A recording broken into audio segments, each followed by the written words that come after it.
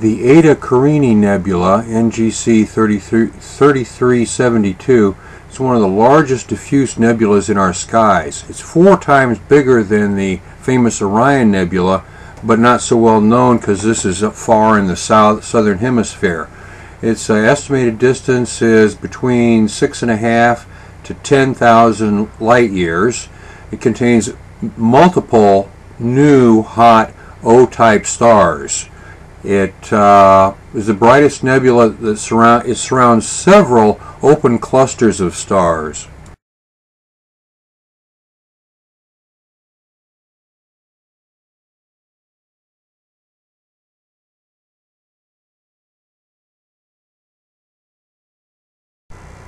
This is a very, very active star forming region. It's about two light years across with uh, lots of interesting stuff going on in there supermassive stars forming, living just a few million years, then blowing up, pushing the nebula around even more, collapsing, making more stars. Very active region.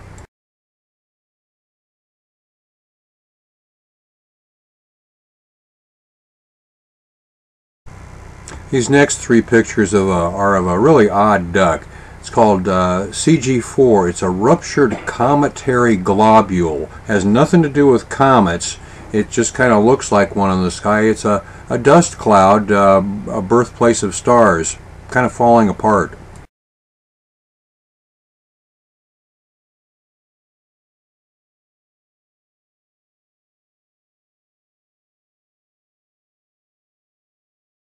A young star is forming off of the top of this picture, throwing this jet at 100 kilometers per second. The whole thing's 150 light years distant. Dark molecular clouds are just clouds of gas and dust that are so dense that starlight can't shine through them. This is Barnard Cloud 68, 500 light years away, half a light year across.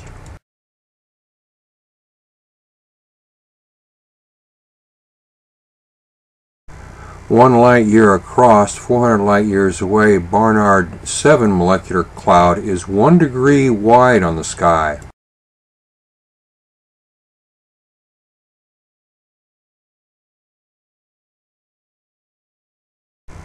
BHR 71 and next is uh, Barnard 163.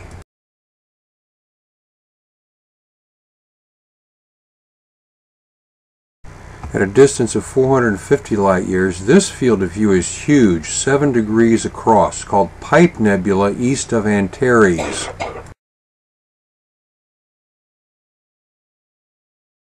Reflection Nebula VDB 152 is really very faint. It's uh, 1,400 light years away and 7 light years across.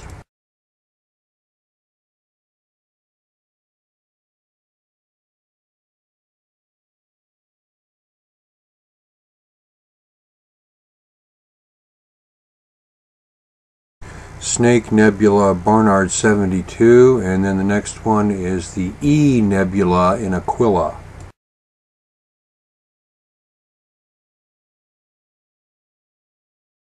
VDB 142.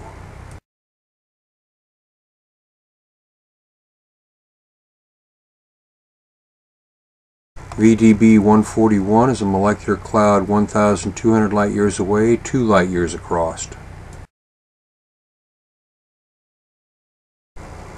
The Eagle Nebula, known as Messier 16 or NGC 6611, is 7,000 light years distance. It's a tower of gas can be seen coming off the nebula is approximately 10 light years long. Its age is estimated to be 1 to 2 million years. The last picture is the pillars of creation, show a large region of star formations. Small dark areas in the photograph are believed to be protostars. Inside the columns on their surfaces, astronomers have found knots or globs of denser gas called EGGs, evaporating gaseous globulars. Stars are being formed inside some of these EGGs. The longest pillar is 7 light years long.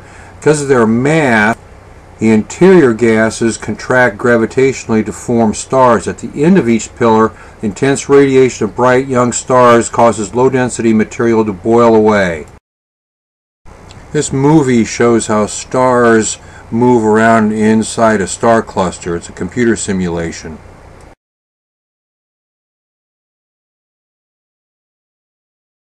The Gum Nebula is 400 light years from the front edge and 1,500 light years from the back edge. It's huge, 41 degrees wide on the sky. It's a supernova remnant about a million years old. It also contains a smaller and younger remnant, the Vela supernova remnant, along with the Vela pulsar. Cone Nebula is a hydrogen 2 region in the lower left of this, this 2.5 degree wide picture. The cone's shape comes from a dark absorption nebula consisting of cold molecular hydrogen and dust in front of a faint emission nebula containing hydrogen ionized by S Monocertos, the brightest star of NGC 2264. The faint nebula is approximately 7 light years long and is 2 6.7 thousand light years away from Earth.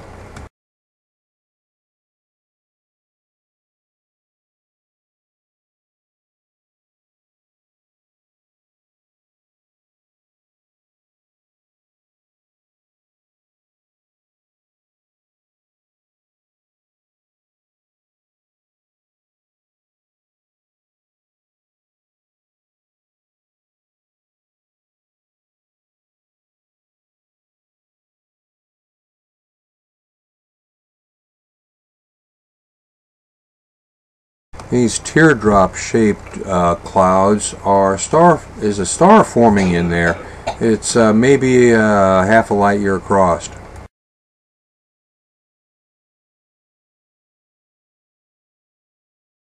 The Rho Ophiuchi cloud complex is 400 years light distance and spans 5 light years. There's 300 newly formed stars of 300,000 years old. It's one of the closest star forming regions to our solar system.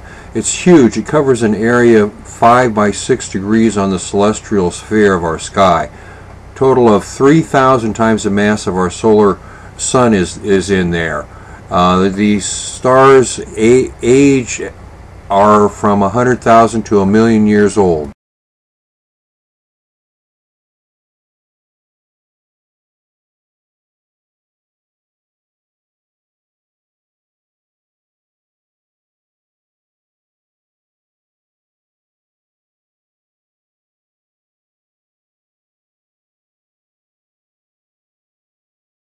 The globular cluster M4 to the bottom and slightly to the right is not associated with this uh, star forming region. It is much, much further away.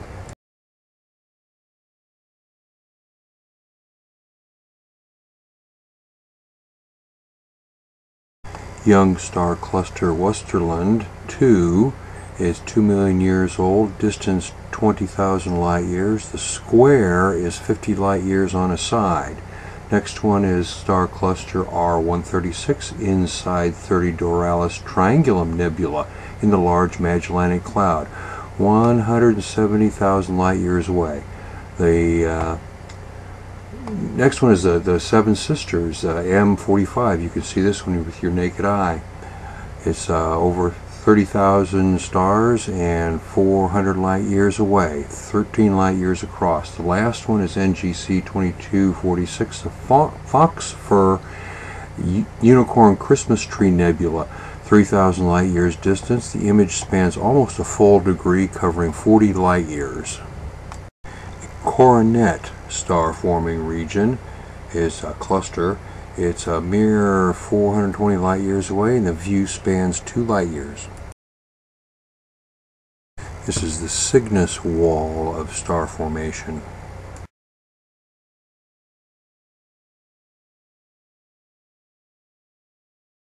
These are three star forming regions. The first two pictures are RCW 38. The second one here after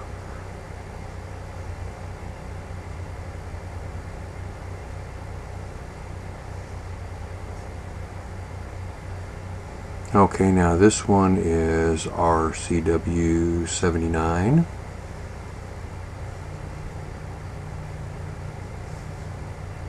And RCW108, all star forming regions.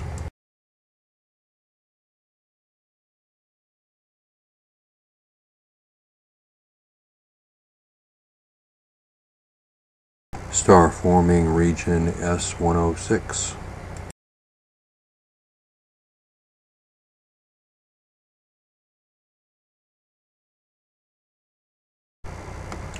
Star forming region, region Sharpless 171, 3,000 light years away, spans 20 light years.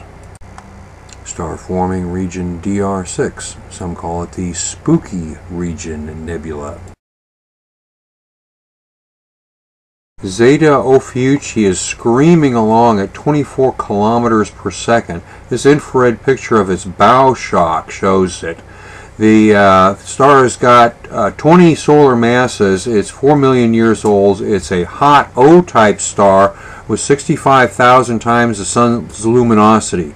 This image is 1.5 degrees or 12 light years across. It's uh, 460 light years away. This may be a former component of a binary system where the former massive star exploded in a Type 2 supernova, leaving this star screaming along at a high velocity. Uh, currently, it's in a dust-rich area of the galaxy. It's creating a bow shock in the direction of its motion. It, uh, it's giving off mass at the rate of one sun, sun's worth every 9 million years. XZ Tauri system is two uh, stars orbiting each other. There are two T Tauri stars orbiting each other. It's uh, 450 light years away and the orbit is about the same as Pluto is from our Sun. Notice the expansion over the years of the super flare that came off of one of the stars. Wolf-Rayet stars are normal stage of the evolution of a very massive star. This is WR124. It's over 20 times the mass of the Sun and it's losing mass rapidly by means of its very, very strong stellar wind, up to 2,000 kilometers per second. The star is losing about 5 to 10 solar masses every year. It's very hot and very luminous, to several thousand times as bright as our own sun.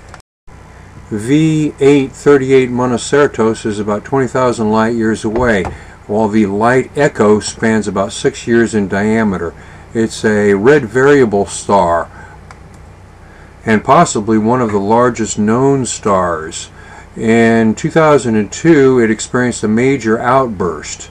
The the reason for this outburst is still uncertain, but a stellar death process might be involved, or perhaps the merger of a binary star or planets. It was originally thought it was a nova. It produced this light pulse, and in a light echo, the light travels directly from the object, arrives at us first. But then if there are clouds of interstellar matter around the star, some of the light is reflected from the clouds. Because of the longer path, the reflected light arrives later, producing the vision of an expanding rings of light around the object. This light echo is reflecting from dust that is mostly behind the star. The bright red star in the center here is the nearest known star to the Sun, Proxima Centauri. It's a red dwarf about two and a quarter light years away. It's part of a triple star system, which also includes Alpha and Beta Centauri, but they are another quarter of a light year further beyond it. They're all in orbit together. Beautiful double star, Albireo.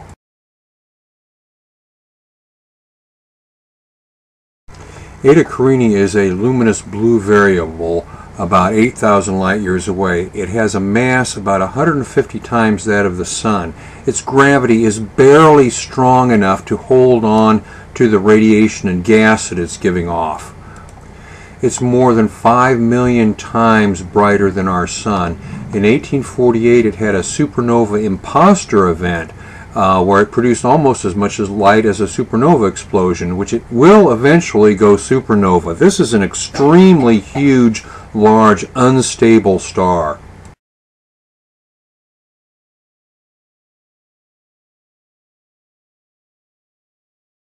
AE Aurigae and the Flaming Star Nebula IC 405, 1,500 light years away, spans 5 light years. HH 47, a young star, 1,500 light years away. The jet expands from 1994 to 2008. The length is 10,000 astronomical units. It's expanding at 150,000 150 kilometers a second.